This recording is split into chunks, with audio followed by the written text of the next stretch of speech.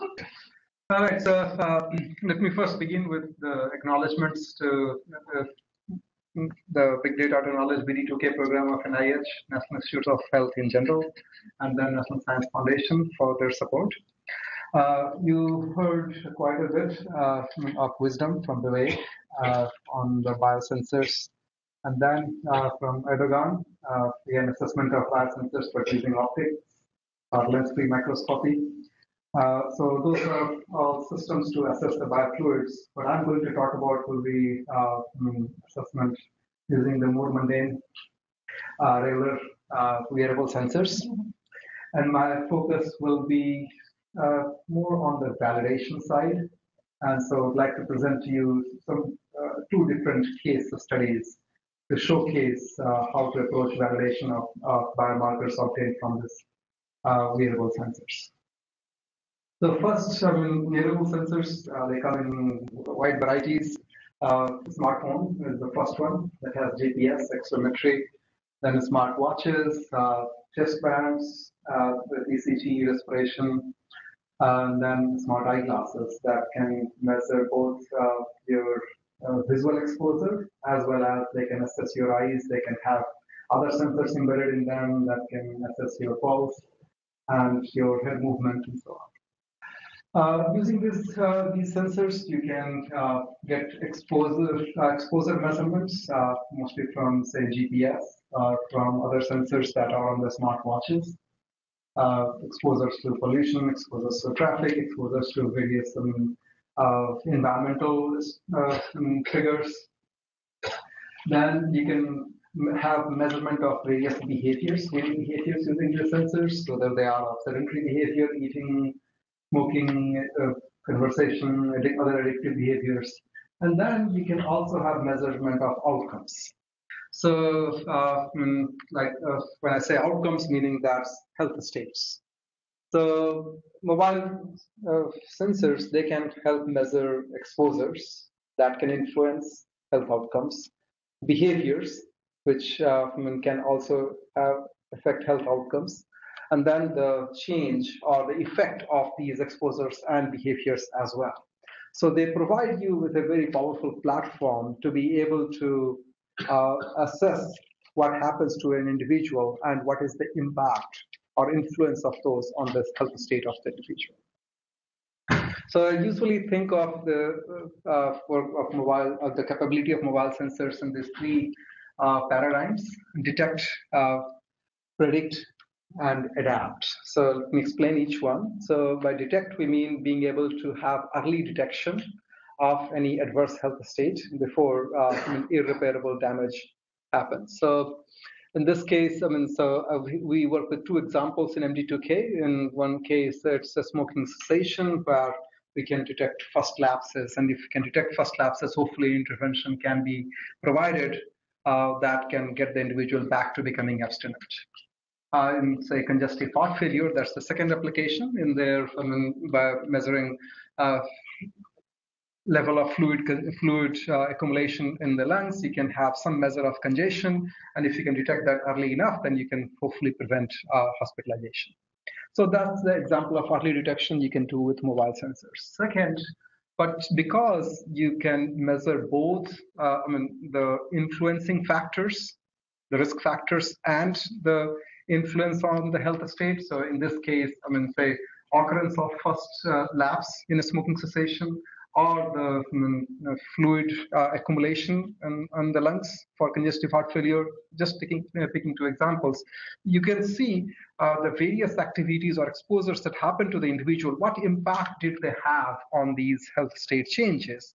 And so you can go back to the, uh, to the data before these adverse events occurred to see what can predict these changes. And if we can predict these adverse events, then you can design interventions to be able to hopefully prevent and truly realize the vision of preventive medicine. The third part is adapt. So because these sensors, they also help you get the current state of the individual. They can also help you get the impact or um, of the intervention on the person, whether the intervention worked on this individual, whether they even liked the intervention way they they, I mean, did they just ignore the intervention? Are they currently in a, I mean, so if so, you can adapt your intervention to make it more personalized. Also, if the individual is currently driving or in a conversation or in a meeting, you could detect that using sensors, and then uh, that may not be the right moment to intervene uh, to deliver the prompt. So you can adapt your intervention based on the individual's response and preferences, as well as their current state or the current environments. So they can, so therefore the sensors can help you uh, with personalized, sensor triggered, ad, uh, context adaptive uh, interventions, and that is timely. So, so I'll first talk about the sensors to markers part. Uh, so if you want to derive these biomarkers out of these wearable sensors, what are the things, some guiding principles? So the first, and Vivek talked about some of these, but I'll, uh, I mean, in the in that point of care system, I'll talk about it in terms of wearable sensors. So first thing, uh, first and foremost is conveniently desire, wearable and desirable. So something that people would like to wear, they're willing to wear, will be enthusiastic to wear, day in, day out for the for their entire life for long periods. So if you don't have that, then uh, it will be very hard for you to get the measurement that you desire. Second, it should be safe, uh, shouldn't cause rashes. I mean, uh, so that's uh, almost obvious.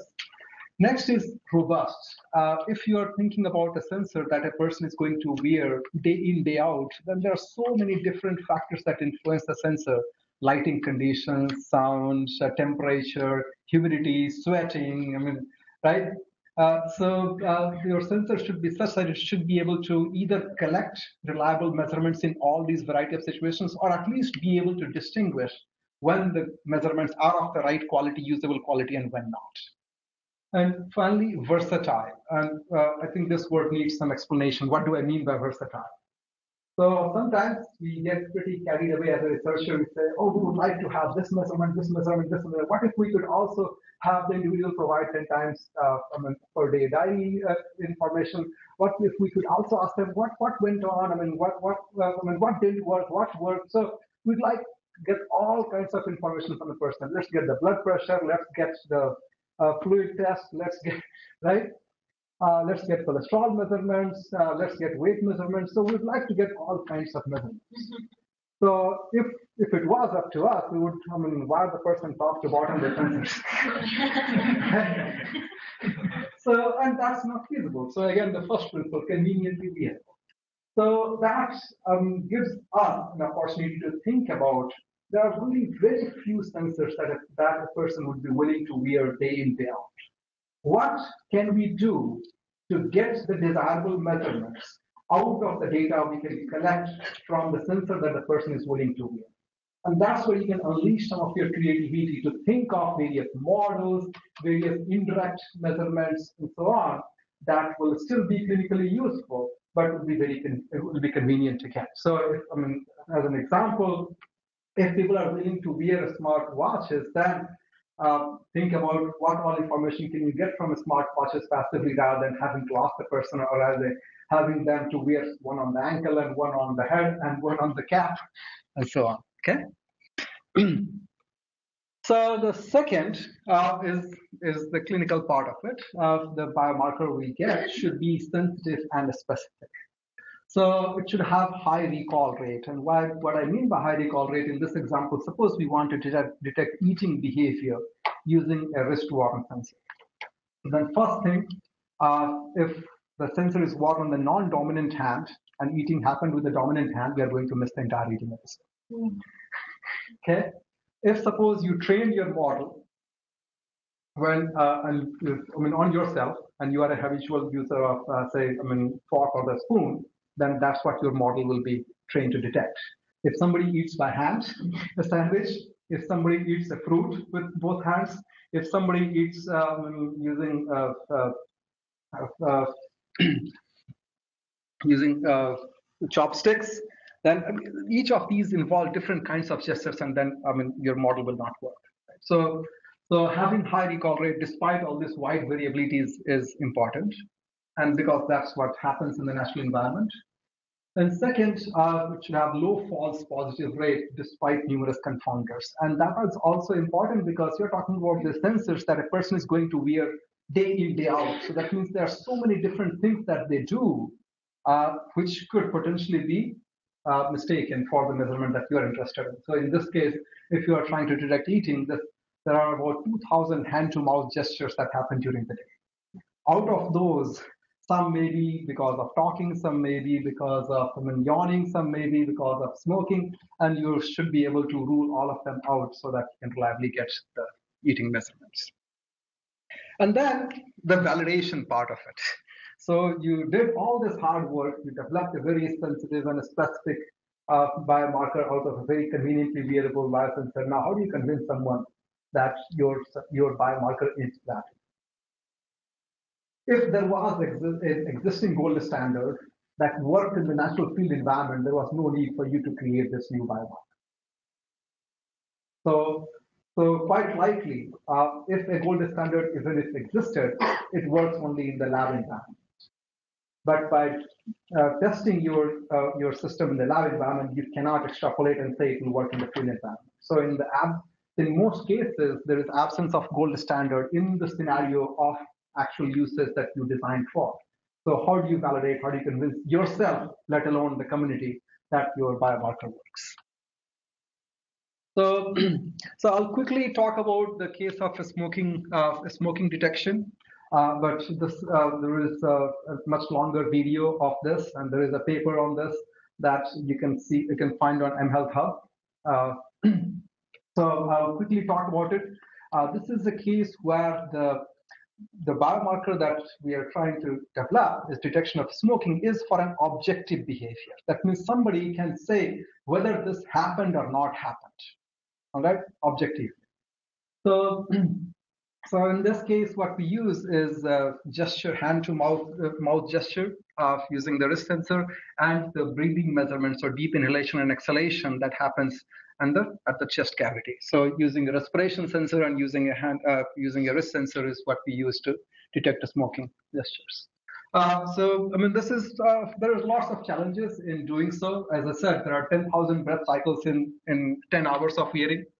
And so if we are trying to identify each smoking puff, so we're trying to identify each cycle whether this is the represents a smoking puff or not. And if we have a 10% false positive, so 90% accurate sensor, that means there will be 1000 respiration cycles in a day that may be falsely declared as smoking.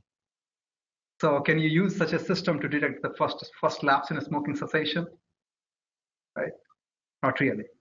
So uh, uh, if, if, we are talking about hand-to-mouth gestures, then again, there are 2,000 hand-to-mouth gestures, and even if it's a 90% accurate sensor, it may still not work well.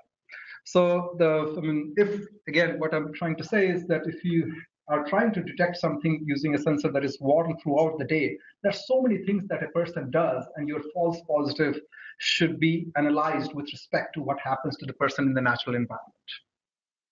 And then uh, uh, there are uh, sometimes the data is lost, sometimes people don't wear the sensors, and then there are numerous confounders. And then the smoking itself happens in so many different ways. Some, I mean, people hold the cigarette differently.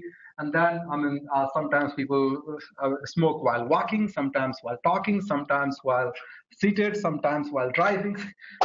right? So there are so many different ways that the same uh, I mean, hand-to-mouth gesture works. So building a detector that works in all these circumstances is, is non-trivial, but that's why it's a research task, right?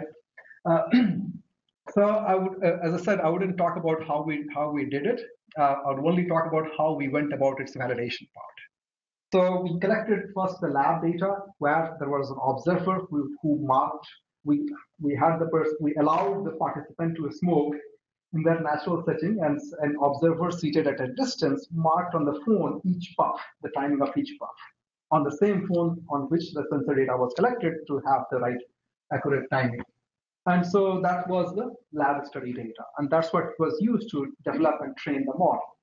To test the model, we applied it on the data collected in a smoking cessation study where there were the smokers who wore the sensors for three days post-quit, after quitting. One day pre-quit and three days post-quitting. And so the model was just applied on them. And each day they returned to the lab and they provided a I mean, CO, uh, expired breath sample for CO monitoring. to see whether I mean they had smoked the previous day or not.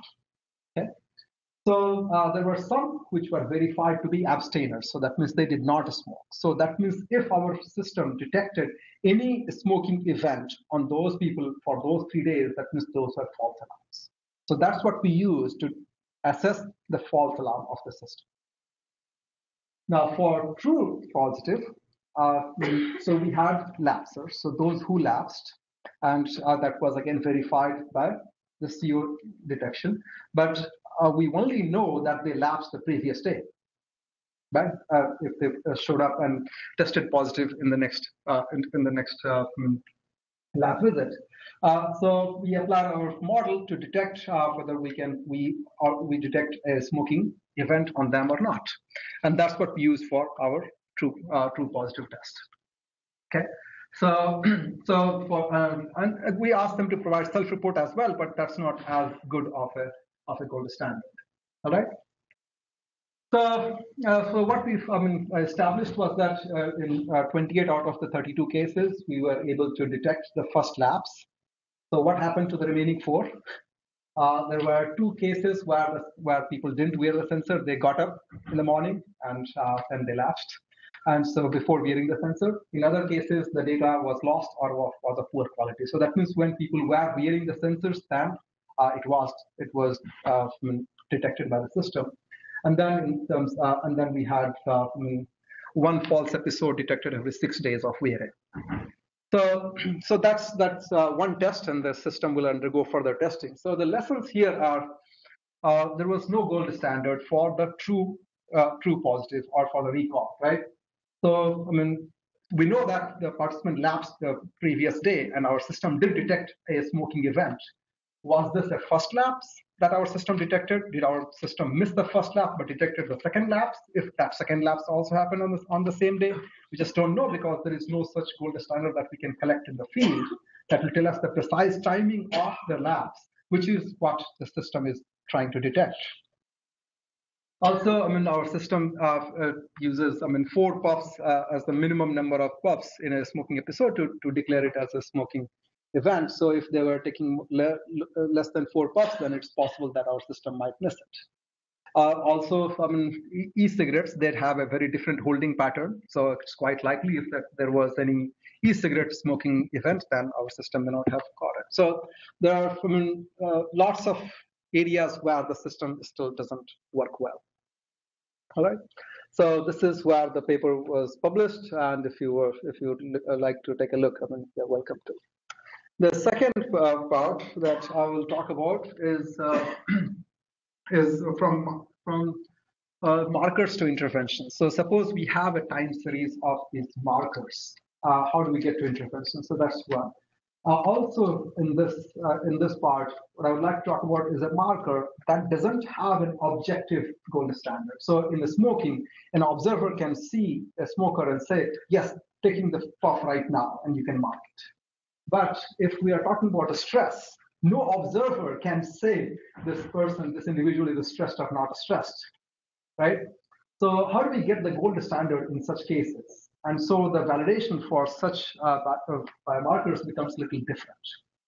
So, and then, uh, so I'll talk about that. I mean, so I'll first talk about, I mean, uh, the validation of this uh, stress marker. And then second thing I would point out is that if suppose we have the sensor-based stress marker that gives a stress uh, I mean, likelihood for each minute of measurement that we have the sensor data for. So you have, I mean, say, uh, uh, 60 minutes in an hour. From in, in 10 hours of wearing, you have 600 minutes. Uh, so we have 600 samples, 600 data points. If we want to trigger an intervention to help reduce, manage somebody's stress, so we want to detect stress, and when the stress level is high, we want to trigger an intervention. There are 600 samples in the day. How many times should we intervene? What do you think? How many times are you willing to withstand an intervention that's trying to help you manage your stress level? 100 times? 10 times? No, it depends on what you're going to call stress. I mean, is it just, you got 60 samples, you say, 600 Six hundred samples. samples. So how, how, how many of those samples have, have continuously read positive? That all depends on what threshold we build. Yeah. So, uh, so, but it all depends on what, how many times the person is willing to be interrupted. That task itself might cause stress, No, let alone reduce the stress. but doesn't it also depend on, on what constitutes a viral str- measure of stress? I mean, if I have one spike, does that, does that count? I mean, is that? don't you have to Who knows? Standard for that first? Right. So, so, so there are those issues of rapid variability. Yeah. Then there is the issue of receptivity. Right. So at most, I mean, few times, couple times a day is I mean, what you would be willing to withstand. So out of those 600 samples, we are supposed to pick those two, three opportune moments. So how do you go about taking this time series of biomarkers that's flowing like a stream, and in real time make a decision as to when are those two, three most opportune moments in the day? So that is the task of going from markers to interventions. So let me see if I can address both, but quickly. All right, so that you can get on with your uh, project discussions. Uh, so, um, so first I'll talk about the this is stress measurement. So the model of a stress measurement, and again, this is subject of a paper, and uh, there are talks about it that you can find online. Uh, so this takes the ECG and respiration measurements, and uh, and then uh, derives various features out of it, and builds a machine learning model, and that's uh, that's what outputs the likelihood of being stressed. So uh, there's uh, lots of uh, when you have all these physiological sensors in the field, there are lots of sources of noises and artifacts and I mean outliers and so on. So there is an elaborate process of cleaning the data, doing the data quality checks, and then deriving the uh, features and then normalizing the features to each person because each person's physiology responds differently, right? And you can't train it on, on each individual before you ask them to use it. So there is some self-calibration built in. So all of that happens uh, uh, with these sensors, and, and then uh, then we we are nearing to get a model. But before we apply that model, we also look at whether there was physical activity present, and if the physiology activation is due to physical activity, then that should not be mistaken for stress. That's dealing with confounders. So it's not only, I mean, so you can use accelerometry to detect when the person is physically active, but physiology, I mean, does not return back to normal immediately as soon as the physical activity stops. There is time for recovery. So um, usually what people do is say, okay, I mean, you wait for two minutes after the physical activity ends, and then you can begin. So it, it, may take up to two minutes for the body to recover. But if we do so, then the physical activity itself happens about 23% of the day. Uh, this is in a college population. And then if we throw away two, two minutes following each physical activity, then we'll, we'll throw away 35% additional data. So we'll be left with with 50% data for a stress assessment. So, but what we can do is we can estimate the rate of recovery of each individual, uh, which is different, and it depends on the level of activity that they were engaged in. And by doing so, you yeah, you can really save quite a bit. And with that, only 7% additional data will have to be discovered. So again, what I was trying to say here is that uh, it's important to pay attention to the confounders all right and do your best to uh, to get as much uh, useful data as possible. So uh, how did we go about the validation?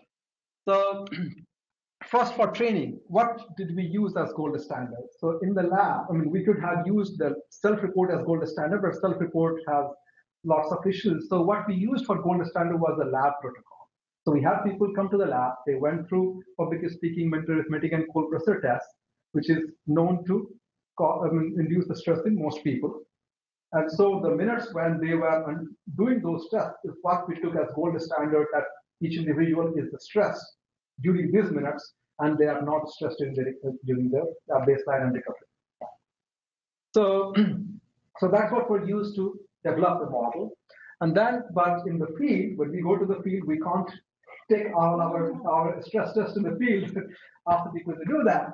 So in the field, what we have is the self-report. So, but then the physiology, uh, the rate of uh, activation and the recovery of physiology is at different time scales than that of the perception of the stress. So um, when you have a stressor, your physiology may recover quickly, but its, uh, its perception may linger in your mind for longer. So we can't just take the minutes preceding the self-report to say if the person say the stress in the next self-report. It must be the case something must have occurred in the minutes preceding that. It could be that they, they received their I mean, information about their paper, acceptance or rejection, or about their big grant that they are hoping for 10 minutes ago. Right? So their body may have recovered, but if you ask them even half an hour later, they are still quite upset or excited, whichever be the case right? So, so therefore, I mean, you have to have the right model for validation. So in this case, we had a dynamic Bayesian network that allowed for different rates of recovery and rate of activation for physiology versus the self-report. and uh, so that's what is used for to validate against self-reports. So, so what you see here are some numbers. I'll just point out a few things. Uh, one is that if you use heart rate variability alone for stress assessment, then you get an accuracy of about 0.5, um, 0.56 but uh, of F1 score. But if you use all the measures uh, from interbeat interval, so take the uh, various other features out of the interbeat interval and the respiration, then you can get uh, F1 score of 0.81. So there is, uh, hmm, so if you use heart rate variability alone for a stress measurement, then you may be about 70% there of, of how much uh, information you could get about a stress assessment of someone. Uh, second thing I would say is that I mean, the uh, validation with respect to the to the self-report, uh, we get uh, a median F1 score of 0.71 when tested in the field. Okay, so this is on the college population.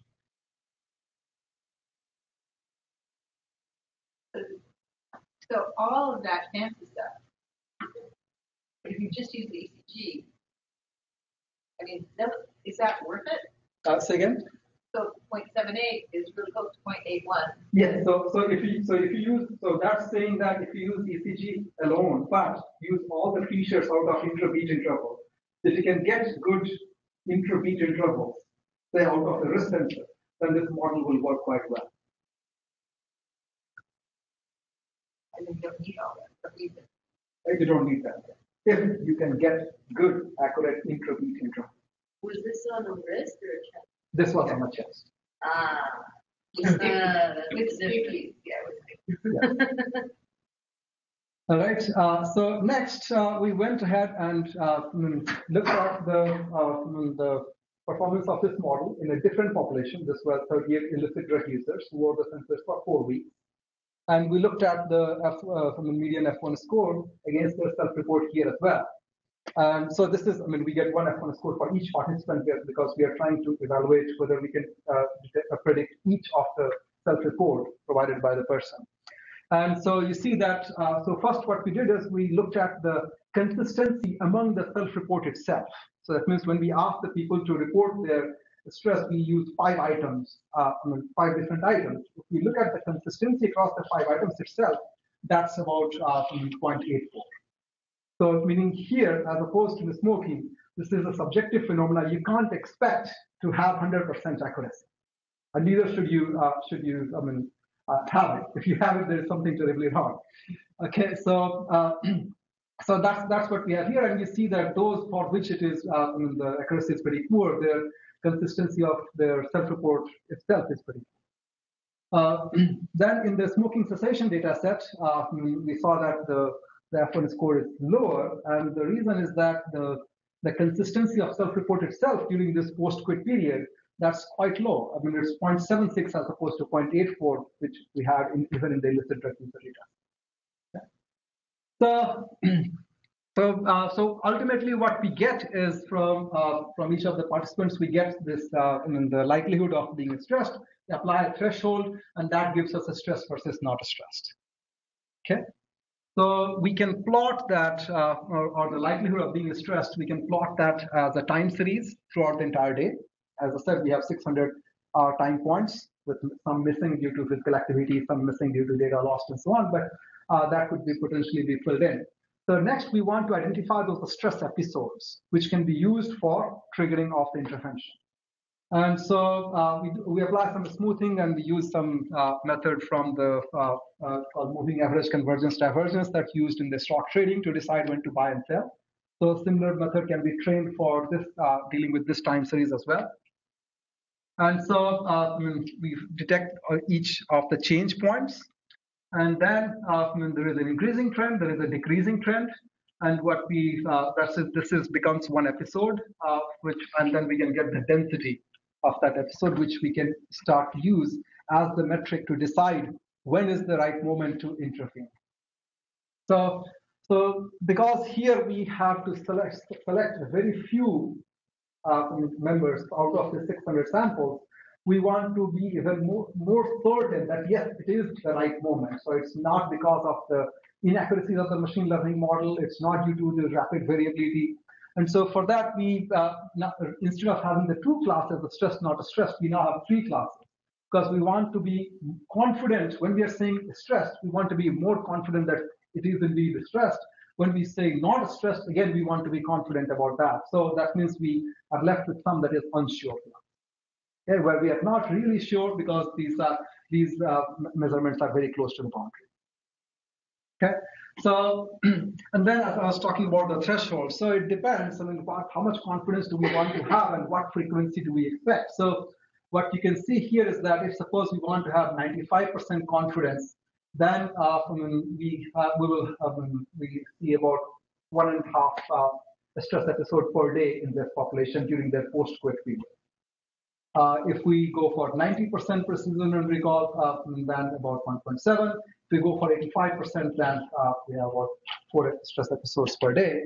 And uh, the reason that, uh, and we selected this for our stress intervention trial is because I mean, then we, uh, we want to have micro-randomization and to decide when to trigger interventions, when not. Okay.